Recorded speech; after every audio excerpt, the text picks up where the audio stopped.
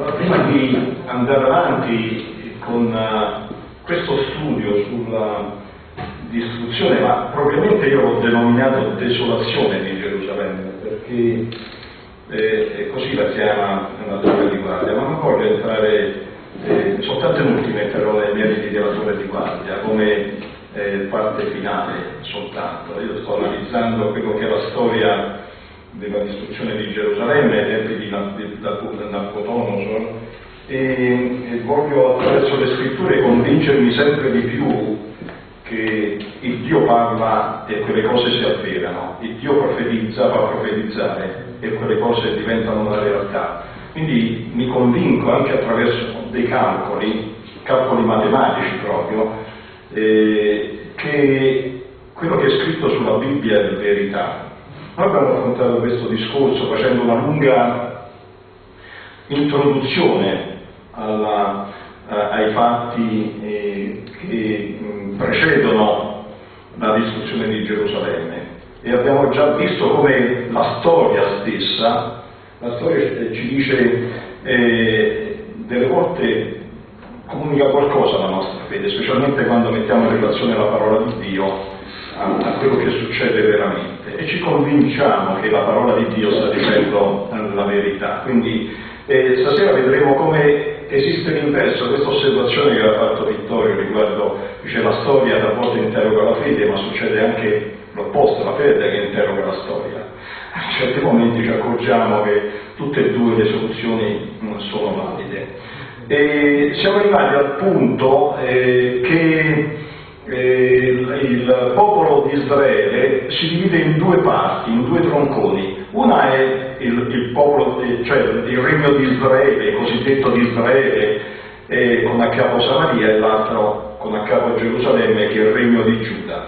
Il regno di Israele finisce prima, proprio per la, addirittura per il comportamento di molti re, e quello di Giuda poi lo seguirà a ruota dopo più di cento anni. E abbiamo detto che a un certo punto il libro delle cronache si interessa soltanto del re di Giuda, si interessa del re di Giuda non soltanto perché è finito il regno di Israele, per cui dall'altra parte non c'è, c'è soltanto distruzione e, gli abitanti sono stati deportati con l'ultimo re Osea e lo vedremo adesso collocandolo nella storia e nella cronologia cosa, in quale momento è, stato, è successo questo, ma anche perché poi eh, quello che ci interessa a noi eh, e quello che credo interessi anche a Dio a condurci verso l'avvento di Gesù Cristo attraverso Giuda attraverso David. E ci siamo accorti che in effetti se uno analizza la promessa fatta a David del regno che non sarebbe mai cessato, se uno analizza soltanto la storia, dice ma questa profezia non si è avverata. Però se lo vede dal punto di vista dell'avvento del Cristo, quella profezia, lui che è il discendente di Davide, questa profezia si avvera. Allora io voglio ricominciare proprio da questa divisione che c'è stata in questi due regni, vedendo questi elenchi dei re di Giuda. Abbiamo detto che in questi anni della durata del regno di Giuda, eh, se, non, non, mi ricordo male 359, ma basta fare le somma eh, di quegli anni che regna ciascun re, eh, que- ci sono stati 20 re che si sono succeduti nella, eh, a regnare su Giuda. Questi sono i primi dieci. Vedete, eh, ho eliminato, diciamo, quando il popolo era unito sotto Saulo, che è stato il primo re, poi c'è stato successivamente, eh, dopo Saulo c'è stato Davide, dopo Davide c'è stato Salomone, il, il, diciamo, il regno si spacca a metà e, e troviamo Roboamo nel regno di Giuda, che è il primo re dopo la separazione dei due regni. Allora vedete io che per ogni re ho tirato fuori eh, gli anni eh, che hanno regnato, gli anni che hanno regnato. Così Roboamo, figlio di Salomone, regna 17 anni. Analizzando tutti i libri dei re, delle cronache, eccetera, ho tirato fuori tutti questi valori e li ho riportati in un elenco. Questo per il momento è il primo elenco. Vedete ci sono eh, Roboamo figlio di Salomone, poi Abidjan che è figlio di eh, Roboamo e così via, sono tutti figli, figli. C'è soltanto questa Atalia, questa Atalia, che è madre di Acazia e che è una usurpatrice. Praticamente non gli spettava di salire sul trono, però siccome ha ammazzato tutti gli eredi al trono e, e ha preso il potere lei per una forma di reazione, perché gli avevano fatto qualche altra cosa prima, e non sapeva che però di questa stirpe se n'era salvato uno, perché era stato nascosto nel Tempio di Gerusalemme ed è cresciuto lì. E questo è Joas. Joas. Questa storia noi la vediamo scritta in Secondo Re, al capitolo 11, versetti 3, da 3 a 21. E perché l'ho voluta mettere qui in mezzo? Per capire, perché sembra adesso, facendo i conti di questi anni, 17 più 3, 41 più 25, eccetera, eccetera, arrivati ad Atalia, no, non dice quanti anni è stata Atalia, però attraverso la scrittura Dio ci concede di conoscere quanto tempo è rimasta al trono Atalia, perché questo ragazzo, Joas, è rimasto per sei anni, per sei anni nascosto. E poi a un certo punto, quando ha compiuto il settimo anno, lo hanno acclamato re, è uscito fuori, è spuntato fuori, lo hanno acclamato re, quindi si evince che sono almeno sei, sette anni che questa Tavia è stata sul trono, quindi aggiungere sette anni a questa cronologia. Questi re che sono stati sottolineati sono quei re tra questi primi dieci che si sono comportati bene agli occhi dell'Eterno. Quindi già i primi dieci, già il 50% hanno fallito l'obiettivo rispetto a Dio, non hanno superato l'esame perché Dio con la, con la storia, quando riporta la storia, li giudica in funzione di quello che è il loro comportamento rispetto all'unico Dio, rispetto all'idolatria quindi e, e rispetto ai, ai, comandamenti di Dio. Questa è la prima parte, se no eh, vi ricordo sempre di intervenire quando volete. La seconda, I secondi dieci re, come vedete sui secondi dieci re, eh, mh, ci sono alcuni che hanno regnato per parecchio tempo e alcuni che invece hanno regnato per poco, tre mesi, vedete, di Joachaz e Joachim, lo stesso tre mesi.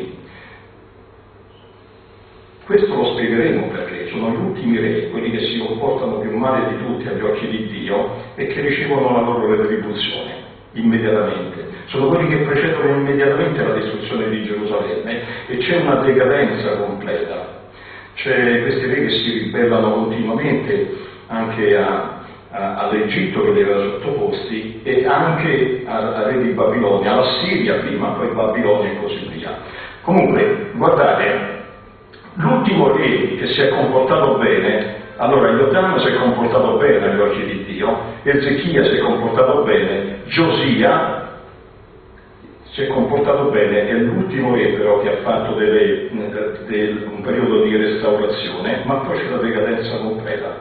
E Giosia, eh, questo figlio, Joachaz, e poi quest'altro figlio, Joachim, e poi, e, e poi Sedechia.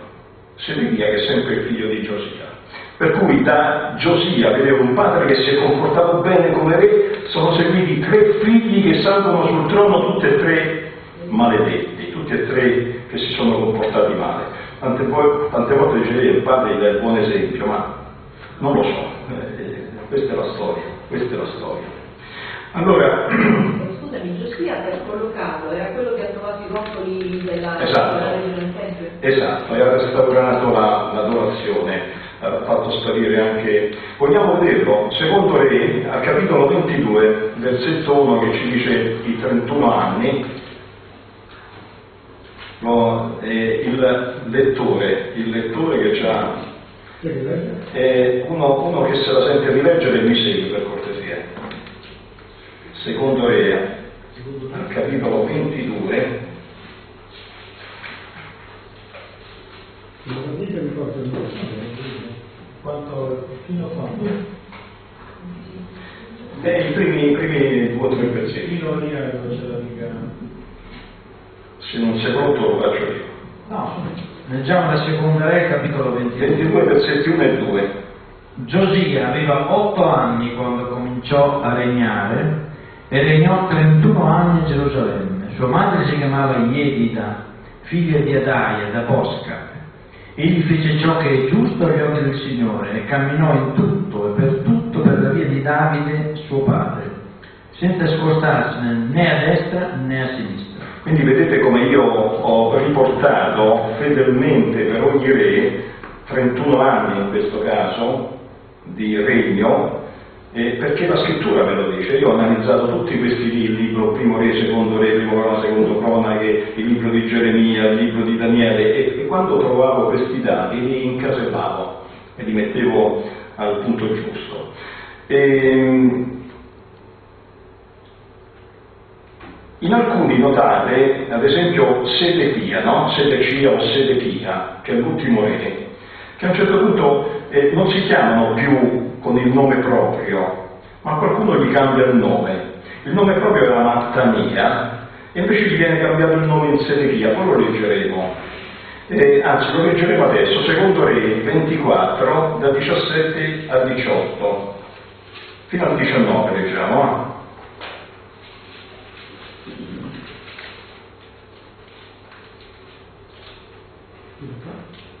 Secondo Re 24, da 17 a 19.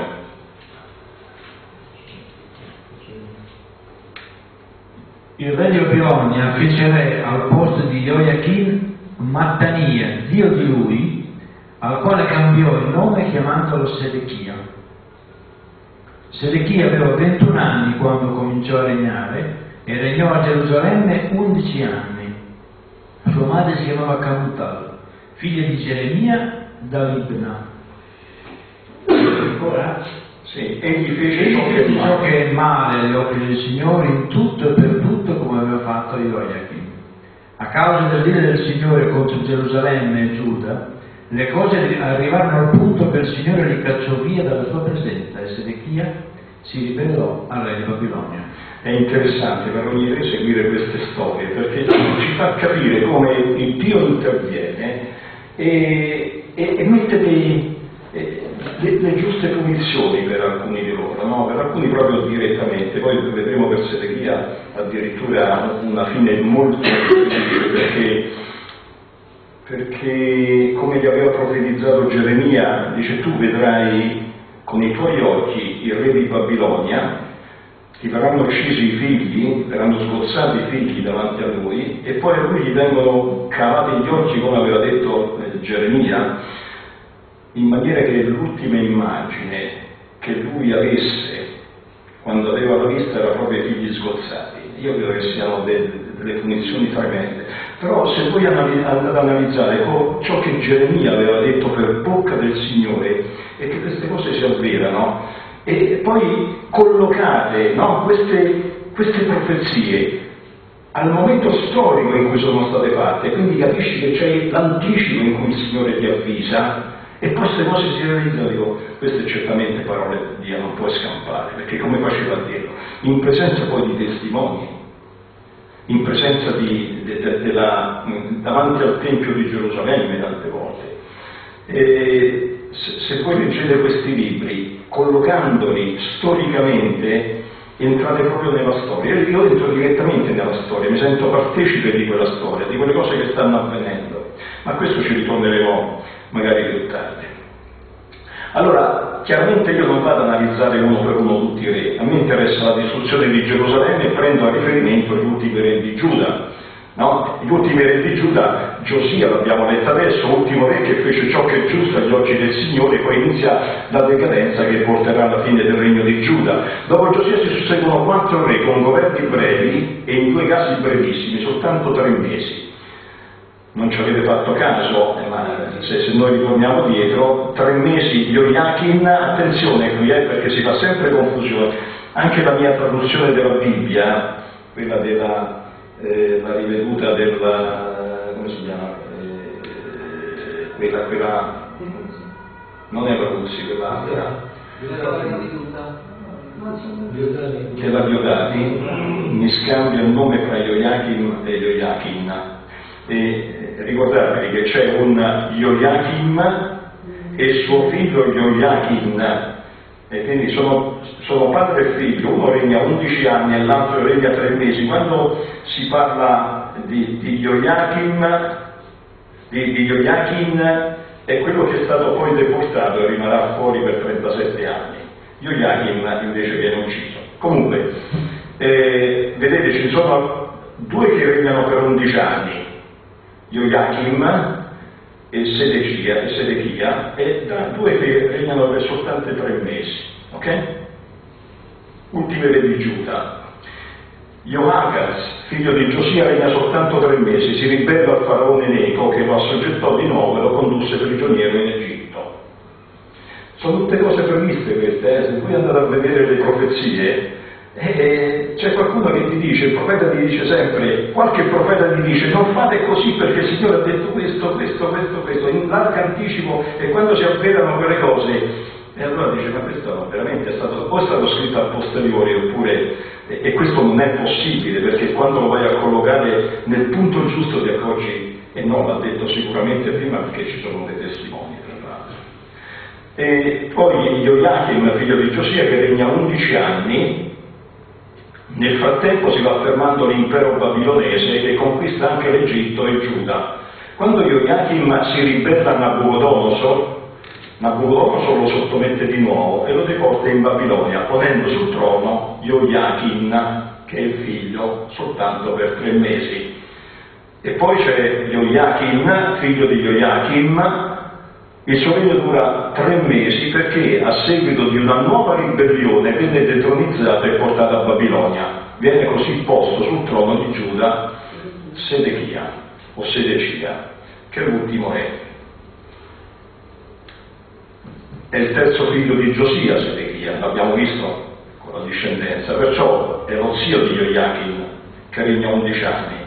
Il nono anno del suo regno si ribella a Babilonia, allora Nabucodonosor pone l'assedio, pone Gerusalemme sotto assedio e dopo due anni la città cade. Sedechia è portato prigioniero a Babilonia, in sua presenza vennero uccisi i suoi figli e poi gli vennero cavati gli occhi. Il riferimento, secondo Re 25, da 1 a 7. Ci crediamo, se non ci crediamo lo leggiamo, altrimenti andiamo avanti, ci crediamo. Però il riferimento, se lo volete andare a vedere, è quello lì. Vediamo intanto che cosa succede in Assiria. E, e, e prima in Assiria e poi che succede a Babilonia. Perché la Bibbia ce lo consente di andare a vedere che cosa succede negli altri regni, ma in maniera un po' limitata per quello che riguarda soltanto le interazioni tra questi, tra questi regni. Cioè se qualche regno fa qualcosa al regno di Giuda o Israele, e allora viene nominato il re e le azioni che compie, altrimenti passa in un secondo ordine. Quindi noi conosciamo dalla Bibbia soltanto quelle cose che sono inerenti al popolo di Israele.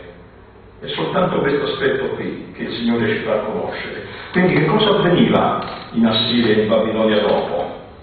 La Bibbia ci consente di seguire la storia di questi regni solo in relazione agli eventi che interessano i due popoli, ad esempio, per quanto riguarda la caduta del regno del nord o di Israele per mano degli Assiri, che avvenne ai tempi di Osea, re di Israele, la Bibbia dice così, secondo Re 17 da 1 a 6.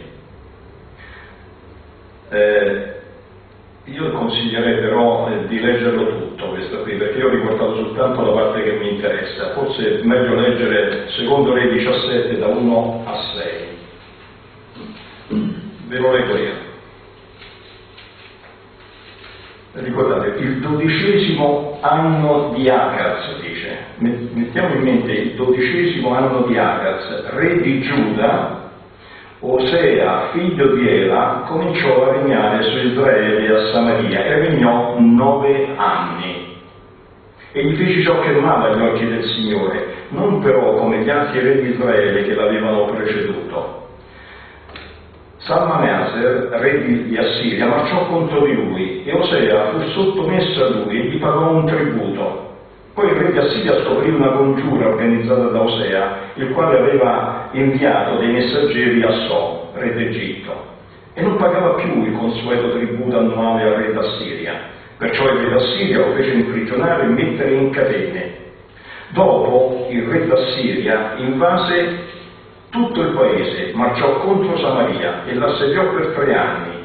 E guardate la storia, eh, come, come, è preciso nel versetto 6, nel nono anno di Osea, il re di Assiria prese Samaria, deportò gli israeliti in Assiria e li collocò in Ana e su Labor, fiume di Gozan, e nelle città dei Medi.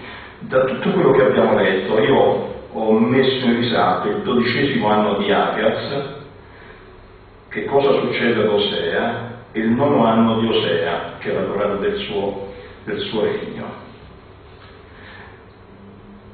E la Bibbia ci consente di fare i collegamenti tra ciò che avviene in Assiria, ciò che avviene nel regno di Israele e ciò che avviene nel regno di Giuda. Sono tre cronologie che si interessano una con l'altra e che noi possiamo mettere in fila, una dietro l'altra.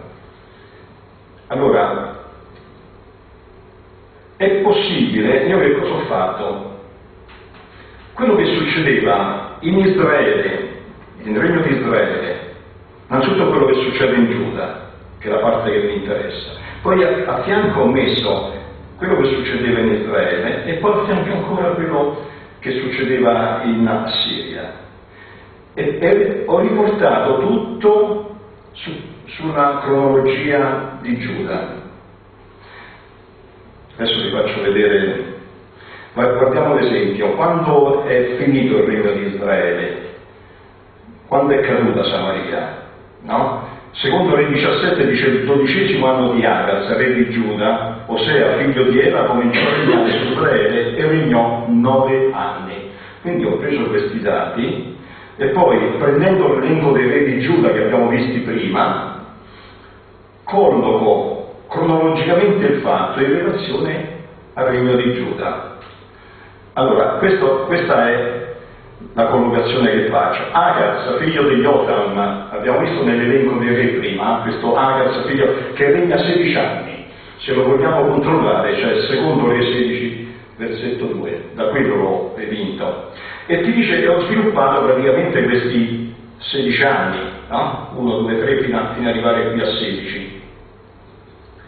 Poi dice che il dodicesimo anno di Osea, dice secondo Re, l'abbiamo letto, ve lo ricordate? E ho messo che inizio del regno di Osea al dodicesimo anno di Agaz. Poi che cosa è successo? Chiaramente Agaz regna 16 anni, uno fino a 16, no? E poi subentra Ezechia da quell'elenco e dice che Ezechia regna 29 anni, secondo Re 18, versetto 2. Intanto Osea, questo è il regno di Israele, intanto Osea sta al primo anno e ti ha detto quanto tempo regna Osea?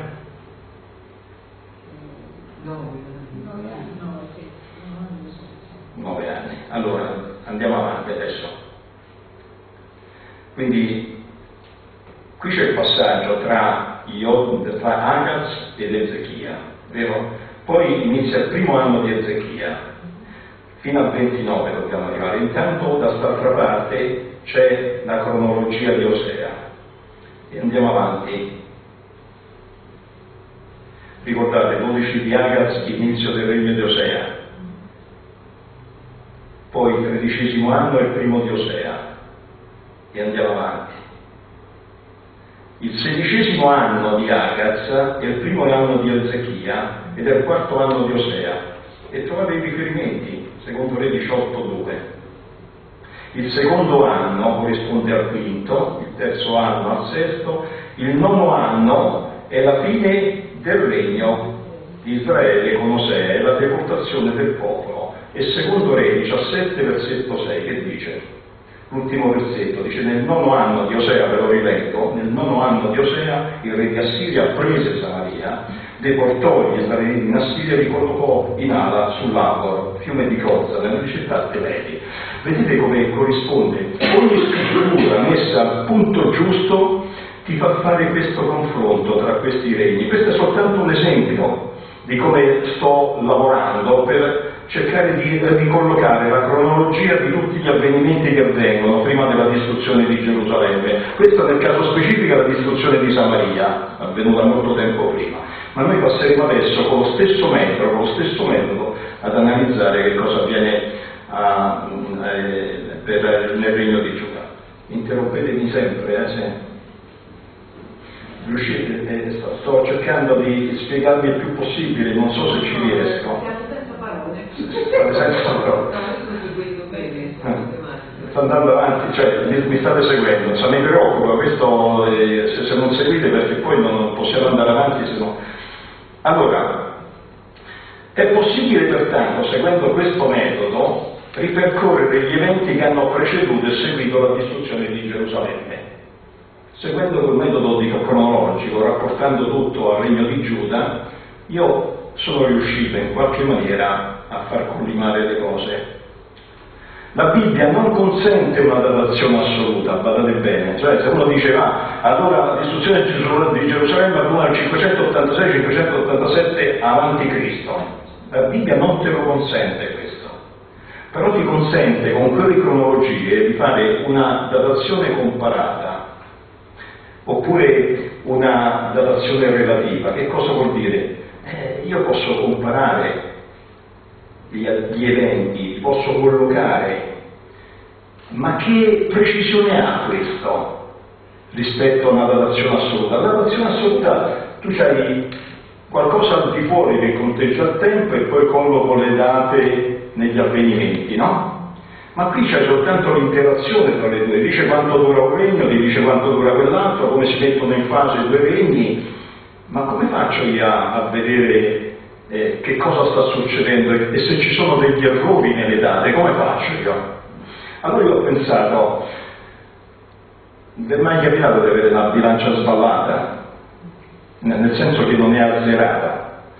E quello che vi dico è valido per tutte le unità di misura, anche nelle misure elettriche succede la stessa cosa, cioè io ho la bilancia che non mi, non, va bene come bilancia, però non è azzerata, cioè tu praticamente ci metti un chilo sopra di fa un chilo e mezzo, è sballata.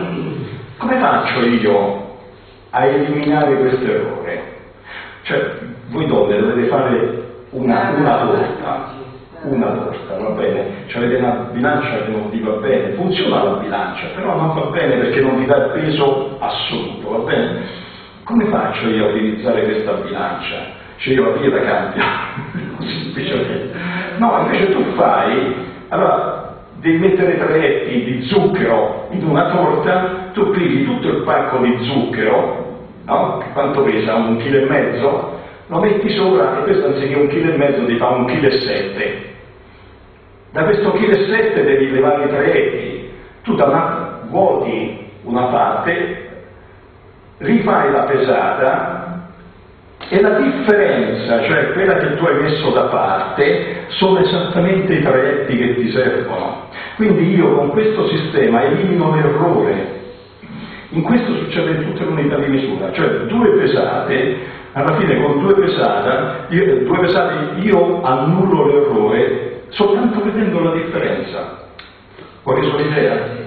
Ok? Questo concetto? È molto, eh, eh, allora io questo metodo voglio usare per vedere se le cose che mi dicono riguardo la, la, la fine del regno di Giuda, eh, quello che eh, mi propongono, se c'è errori o non c'è errori.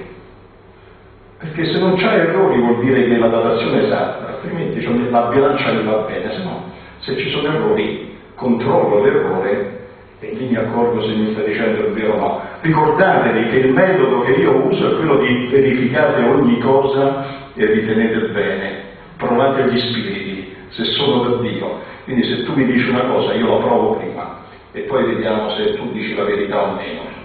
Ok, questo concetto della datazione assoluta che non è possibile. Noi siamo abituati col metodo prima di Cristo, dopo di Cristo, ma allora non c'era prima di Cristo, dopo di Cristo, l'abbiamo inventato dopo. Dobbiamo soltanto andare avanti con queste comparazioni. Allora, vediamo la cronologia degli eventi. Partendo da Joachim, con la M, figlio di Giosia, regna 11 anni. Il suo vero nome era Eliachim. E la domanda è questa, perché gli cambiano il nome? Abbiamo visto prima a, a Sedechia pure gli cambiano il nome, lo chiamano Sedechia. Perché gli cambia il nome? Vi siete mai chiesto questo? Perché Dio cambia il nome ad Abramo? Perché è un altro periodo della sua vita e non nuovo, C'è diciamo. un significato, cioè come un pseudonimo, sicuramente c'è un significato. Qualche altra idea? Qui va bene il caso di Dio è una cosa, guardiamo nel caso che succede qui, a un certo punto uno si comporta male, un re va, il Nabucodonosor lo piglia, lo conquista di nuovo e gli cambia il nome. Avrà un significato questo. Perché Dio poi alla fin fine cambia il nome ad Abramo? Oppure a Giacobbe, lo chiama E significava... Sì, a parte il significato, ma nel caso specifico, se voi ci fate caso, è il conquistatore, il conquistatore che, che ti cambia il nome, che ti sottomette e ti fa servo. Quello vuol dire io ti chiamo così perché tu sei sottoposto a me. Allora quando Abramo viene chiamato Abramo, da Abramo a Abramo, quello che sia, adesso, oppure Giacobbe viene chiamato Israele, vuol dire che il Dio lo ha preso come suo servo, come suo schiavo, lo ha sottomesso e gli ha cambiato il nome perché gli appartiene. Capito che finezza che c'è nella scrittura sui cambiamenti di nome? I nomi hanno un significato, il cambiamento del nome ha ancora un significato ancora più importante. Io non so come ci chiamerà Dio a ciascuno di noi. Darsi che ci cambia il nome pure a noi, Dio lo sa. Comunque, Ioiachini. Allora, lì abbiamo detto Ioiachini 11 anni, e loro li ho riportati, e poi subentra Ioiachin, che regna per tre mesi, più precisamente tre mesi e dieci giorni. Guarda, è precisa la Bibbia, anche nei giorni delle volte. Secondo cronache 36, 9 e 10. Se lo, volete, se lo vogliamo leggere ci andiamo, altrimenti andiamo avanti. Vi fidate, vi fidate. Comunque voi prendete appunti, io ve le lascio, voi andate a controllare che io l'ho riviste tre volte queste cose, quindi non, spero, di, spero, di, non essermi sbagliato. Poi viene, eh, viene eh, messo sul trono da Nabucodonosor Sede, Sedecia, Sedechia, che regna per 11 anni, col nome Mattania. Eh, si chiamava Mattania, ma poi eh, Nabucodonosor lo chiama Sedechia. Il decimo giorno del decimo mese Nabucodonosor iniziò l'assedio di Gerusalemme. Vogliamo leggere quello del secondo re 25.1?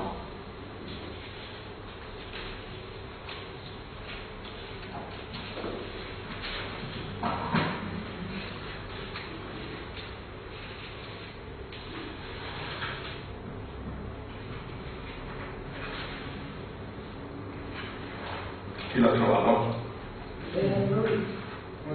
Eh, ricordatevi delle cose.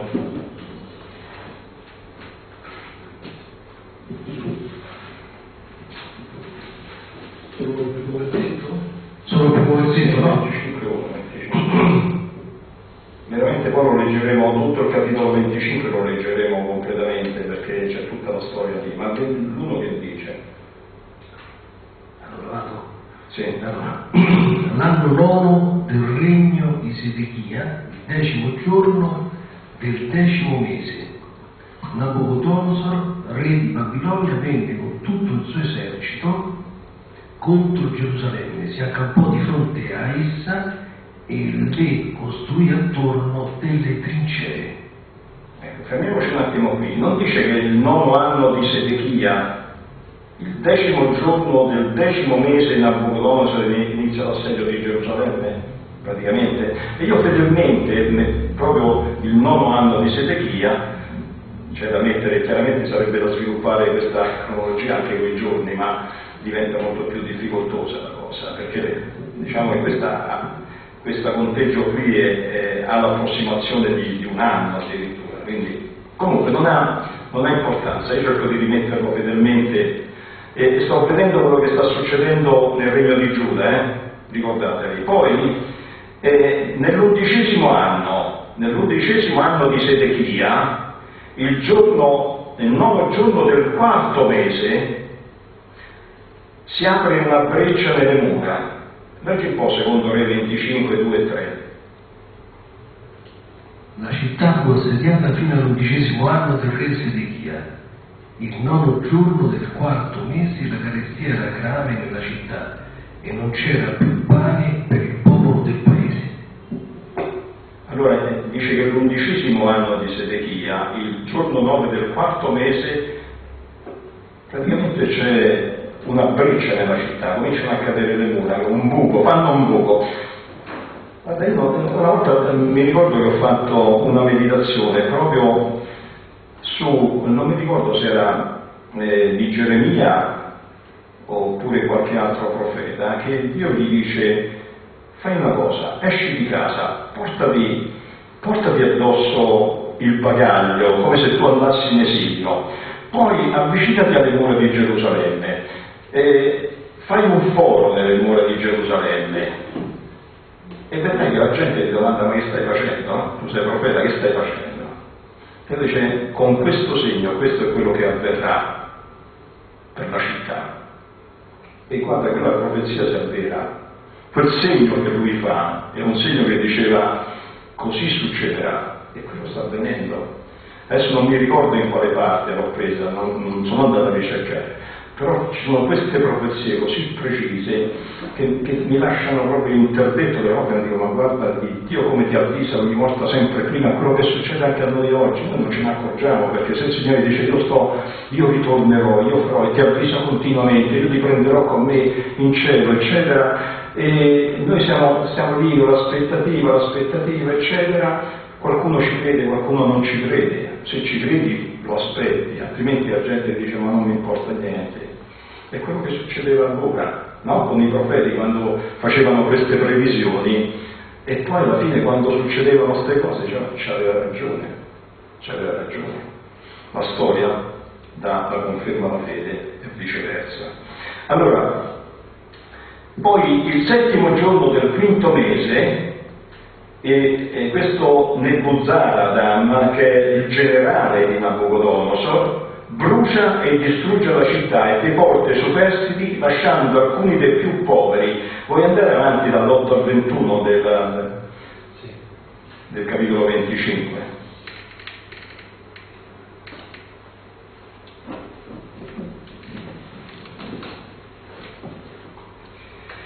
Il settimo giorno del quinto mese era il diciannovesimo anno di Nabucodonosor, re di Babilonia. Nebuzaradan, capitano della guardia del corpo, funzionario del re di Babilonia, giunse a Gerusalemme, bruciò il tempio del Signore e il palazzo del re e diede alle fiamme tutte le case di Gerusalemme, tutte le case dei grandi personaggi. Eh, ancora? Fino al 21, stai leggendo adesso. Tutto l'esercito dei Galdei, che era con il capitano della guardia, abbatté tutte le mura di Gerusalemme Nebuzaradan, capitano della guardia, deportò i superstiti che erano rimasti nelle città, i fuggiaschi che si erano arresi al re di Babilonia e il resto della popolazione. Il capitano della guardia non lasciò che alcuni dei più poveri del paese a coltivare le vigne e i campi. I Galdei spezzarono le colonne di bronzo che erano nella casa del Signore, le basi e il mare di bronzo che era nella casa del Signore e ne portarono via il metallo a Babilonia. Presero le pignate, le palette, i coltelli, le coppe e tutti gli utensili di bronzo con i quali si faceva il servizio. Il capitano della guardia prese pure i bracieri e le bacinese, ciò che era d'oro e ciò che era d'argento quanto alle due colonne al mare e alle basi che Salomone aveva fatte per la casa del Signore, il metallo di tutti questi oggetti aveva un peso incalcolabile. Ciascuna di queste colonne era alta 18 cubiti e aveva sopra un capitello di bronzo alto 3 cubiti e attorno al capitello c'erano un reticolato e delle melagrane. Ogni cosa di bronzo, Così era la seconda colonna munita pure di reticolato. Il capitano della guardia prese Seraia, il sommo sacerdote, Neemia, il secondo sacerdote, e i tre custodi della porta d'ingresso e prese nella città un eunuco che comandava la gente di guerra. Cinque uomini dei consiglieri intimi del re che furono trovati nella città, il segretario del capo dell'esercito che arruolava il popolo del paese e 60 privati che furono anch'essi trovati nella città. Nebuzaradan, capitano della guardia, li prese e li condusse dal re di Babilonia a Ribla e il re di Babilonia li fece uccidere a Ribla nel paese di Camat. Bene, e qui abbiamo letto tutta la storia, no? Abbiamo letto la storia, eh, ma avete fatto caso al versetto 8?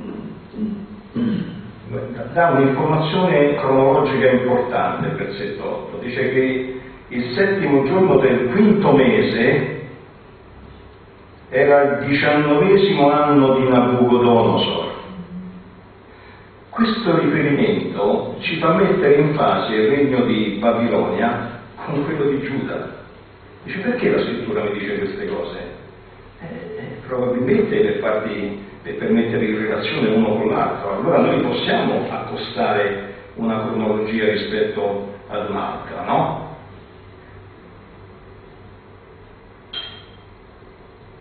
Dopo, per finire la storia, poi c'è il governatorato di Godolia o, Gedalia, cioè una volta che hanno portato via una parte degli abitanti, facendo quei conti lì che hai letto, 10.000, 6.000, 1.000, sono circa 18.000 persone che vengono portate eh, in Babilonia.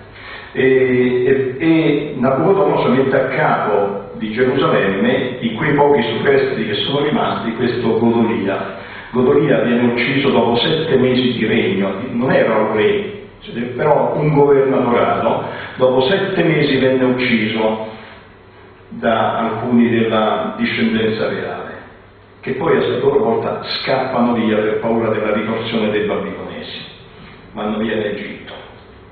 Comunque, deportazione inizio del governatorato di Gedalia, secondo Re 25-22. Gedalia governa per sette mesi.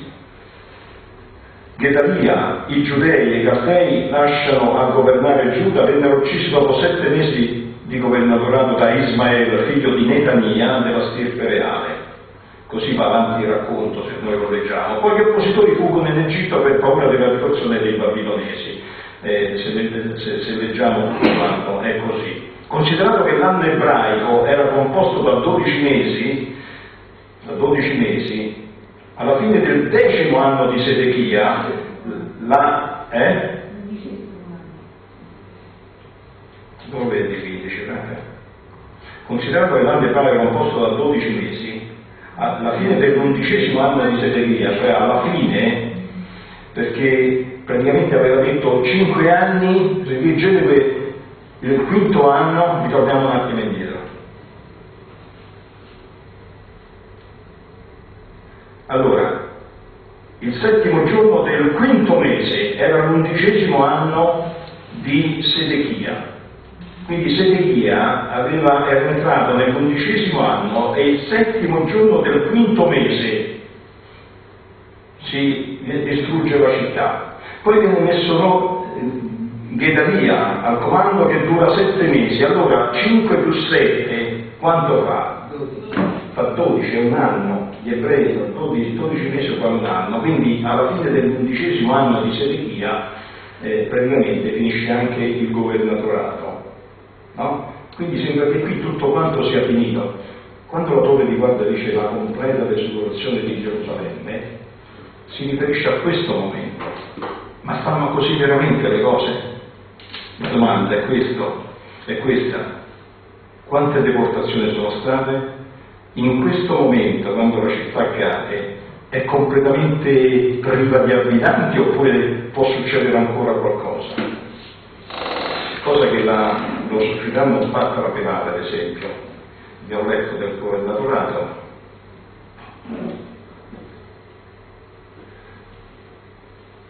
Ci accerteremo se le cose stanno così se veramente c'è la completa desolazione. La società ogni volta gli dice guarda la completa desolazione perché in quel momento c'è la distruzione del tempio, la distruzione della città, viene tutto bruciato, tutte le persone, 18.000, vengono portate via e, e finisce eh, anche il governatorato, finisce tutto quanto, quindi la terra è completamente desolata. È quello di cui parlava Geremia nella sua, nella, nella sua eh, profezia. Se tutto desolato vuol dire che la data del 607 sta lì, sta lì. No. Vediamolo, vediamo. Cosa avveniva anche in Assiria e Babilonia? Dalla lista dei re Assiria menzionati nella storia, soltanto alcuni vengono nominati nella Bibbia e questi sono Tiglat Pileser, secondo cronache 28-20, chiamato anche Pul, Agaz, re di Giuda, gli diede aiuto per combattere gli Edomiti e i Filistei e gli Israeliti, i loro fratelli, pagandolo profumatamente. Ma questo gli ha messo le corna alla fine, si è preso i quattrini ed è scappato come all'oppo e, e, e, per cui non l'ha aiutato per niente. Poi c'è Sargon, Isaia lo, lo nomina al capitolo 20, versetto 21. Chi altro è nominato nella Bibbia dei re di Assiria? Sennacherib. E ti dice che nel quattordicesimo anno di Ezechia, quindi se andiamo, se va l'elenco dei re di Giuda, nel quattordicesimo anno, lui assediò Gerusalemme. Vi ricordate questo esempio, questo fatto che avvenne così clamoroso? Che l'angelo del Signore si era accampato e che fece morire 185.000. C'era l'assedio, stava per essere conquistata la città, a un certo punto arriva qualcuno dice la peste, in una notte 185.000 guerrieri muoiono e questi so, levano l'assedio e se ne ritornano in patria e fallisce l'assedio di Gerusalemme. E c'era Sennacherib allora che portava avanti queste cose. Poi Esardon, figlio di Sennacherib, che salì al trono dopo l'uccisione del padre da parte di altri due fratelli. I suoi fratelli hanno ucciso il padre, poi lui ha preso il potere. Eh, Così dice la Bibbia. Questi sì. sono nomi riconosciuti anche dalla storia ufficiale. Anche nella storia ufficiale, certamente. Non siamo altri no, nomi, no, no, ci sono. No, no, no, nell'archeologia l'abbiamo visti questi nomi, eh? Proprio sì. L'abbiamo visti. Poi, poi questi qui sono, eh, poi, poi ti dico esattamente quelli che vengono detti. Sennacherib e Saradon a Subbanipal eh, lo chiama eh, Sardanapalo, Davide, no? E Esdra 4.10, riportato in Esdra 4.10. Questo è riportato in secondo re 17.2. No? Quest'altro in secondo re 19.37, quindi sono nominati nella storia e sono nominati nella Bibbia. La storia nomina il soprannome, però Ecco, delle volte, sì, esatto. Sì. Sì. Cioè, Baldassare, no aspetta però non confondere eh, con eh, i tre deportati che sono Daniele e che gli cambiano eh, il nome in Baldassare, no? Non- ci- Sì, no, io voglio dire che alcune volte magari Viene riportato il soprannome. il soprannome, sì sì, sempre, sì. Poi ancora, intanto, intanto Babilonia, cioè la Siria, a un certo punto cresce il potere di Babilonia che poi conquisterà la Siria. Intanto a Babilonia cresceva la potenza di eh, Shamash Shum Ukim, l'abbiamo visto eh, durante lo studio della- dell'archeologia, ma non è questo riportato sulla Bibbia. Qui successe il figlio Candalano, re di Assiria, sto parlando di storia in questo momento. L'impero babilonese di fatto inizia con Nabopolassar, non è riportato sulla Bibbia, Nabucodonosor sì, ma il padre non viene riportato sulla Bibbia. Vi ricordate la lista storica dei re di Babilonia quando abbiamo fatto? È un po' difficile ricordarselo perché sono nomi pure un po' strani. Nabopolassar, Nebuchadnezzar Nabucodonosor, Amel Marduk, Neriglassa, Rabashi Marduk, Nabonidus e, ecco, Belshazzar e Nabonidus, questi sono riportati. Nabucodonosor, eh, questo è riportato Nabucodonosor. Poi eh, eh, Baldassare è riportato. Allora, di questi vengono nominati nella Bibbia solo Nabucodonosor, Evil Merdak e Baldassare. E li ritroviamo, li ritroviamo poi perché hanno un'interazione con quello che succede in Giuda. Ah, La domanda è questa, quando inizia a regnare Nabucodonosor? C'è Geremia 25, 1 che ti dice che la parola fu rivolta a Geremia riguarda tutto il popolo di Giuda nel quarto anno di Kim, figlio di Giosia, re di Giuda, ed era il primo anno di Nabucodonosor, re di Babilonia. Perché lo Spirito Santo gli fa mettere queste cose qui? No? Mi domando, perché mai? Guarda come è preciso, no? Dice il quarto anno di Joachim era il primo anno di Nabucodonosor. Allora io comincio a mettere in fase i due regni con questi riferimenti biblici. E quando finisce il suo regno?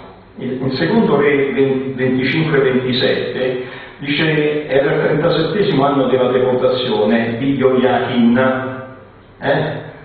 E la scrittura ne parla in eh, in due casi di questo Evil Merodach che mette in libertà Joachim. L'abbiamo visto anche durante lo studio dell'archeologia, quando c'erano quelle tavolette in cui si diceva che c'era la razione giornaliera, vi ricordate? Che deve essere... Eh, vedete come la storia dell'archeologia vanno di pari passo e si comprendono uno con l'altro e si rafforzano uno con l'altro. No? Quindi quando finisce, attraverso questi, questo versetto, secondo Re 25-27, si riesce a risalire a quando finisce il regno di Nabucodonosor.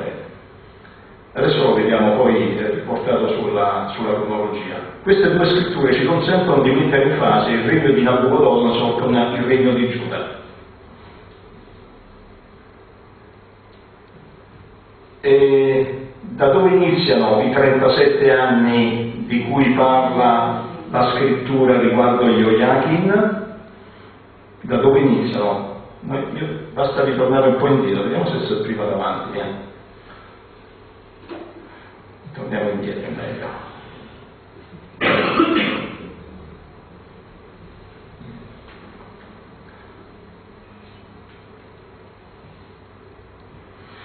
Guardate dove inizia la deportazione di Joachim finisce il regno di Joachim 11 anni, da questo punto inizia la deportazione e va avanti per 37 anni. A un certo punto finisce il regno di, di Giuda, però avete visto con quel riferimento, il primo anno di Nabucodonosor era l'anno tot di quell'altro, lo vediamo adesso, io riesco a continuare ad andare avanti nella cronologia.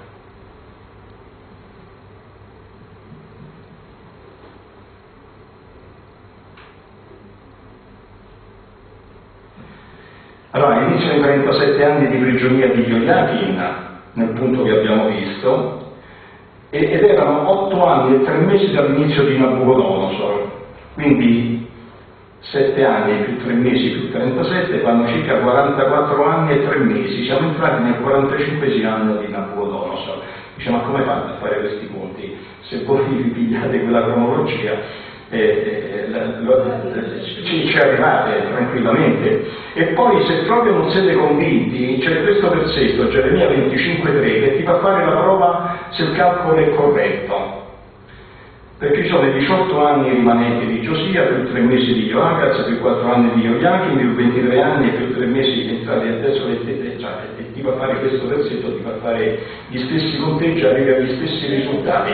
Vediamolo direttamente sullo schema. Allora, Joachim, figlio di Giosia, regna 11 anni, l'abbiamo visto. Poi, inizio dell'assedio di Gerusalemme, in Daniele al capitolo 1, versetti da 1 a 7. Leggere un po' su Daniele. Peccato, non gliela facciamo.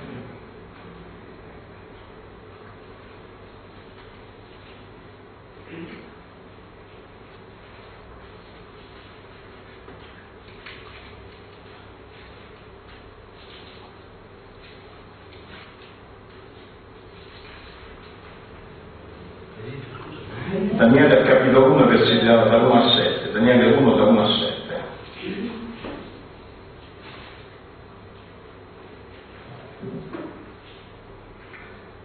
terzo anno del re di Joachim, re di Giuda, Nabucodonosor, re di Babilonia, marciò contro Gerusalemme l'assediò. Il Signore gli diede nelle mani Joachim, re di Giuda e una parte degli arredi della casa di Dio. Nabucodonosor portò gli arredi nel paese di Shinea, nella casa del suo Dio, e li mise nella casa del tesoro del suo Dio. Il re disse a Aspenaz, capo dei suoi eunuchi, di condurgli dei figli di Israele di stirpe reale o di famiglie nobili. Dovevano essere ragazzi senza difetti fisici, di bell'aspetto, dotati di ogni saggezza, istruiti e intelligenti, capaci di stare nel palazzo reale per apprendere la scrittura e la lingua dei Galdei. Il re assegnò loro una razione giornaliera di cibi della sua tavola e dei vini che egli beveva e ordinò di istruirli per tre anni, dopo i quali sarebbero passati al servizio del re. Allora, guardate, il terzo anno di Joachim, te lo dice, abbiamo letto, il terzo anno di Joachim inizia l'assedio di Gerusalemme ed avviene la prima deportazione. Tra questi deportati c'era Daniele, questi giovani, nella prima deportazione. E questo avviene il terzo anno di Joachim. Poi che cosa succede? Il- l'anno successivo, il quarto anno, inizia il regno di Nabucodonosor. Quindi quando inizia il primo anno di Nabucodonosor, il riferimento lo avevamo visto in Geremia 25 da 1 a 3, praticamente eh, Nabucodonosor già aveva, aveva posto l'assedio e c'era Nabopolassar che comandava in Babilonia, il padre. E lui infatti sale sul regno un anno dopo che aveva già conquistato Gerusalemme. Quindi il vero inizio del regno di Nabucodonosor, secondo eh, eh, Geremia 25 da 1 a 3, è il primo anno di Nabucodonosor, corrisponde al quarto anno di Joachim. Poi che sta succedendo ancora? Il decimo anno di Joachim c'è la deportazione di 3023 giudei. Geremia 52-28.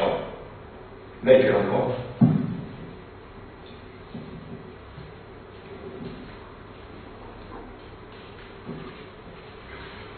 Poi proviamo, secondo me è il caso di smetterle. Sì. Finiamo questo schema e finiamo perché stiamo andando fuori. 52 28. 52-28.